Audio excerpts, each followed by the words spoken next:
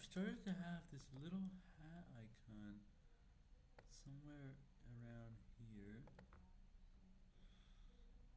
See, I have this little hat icon.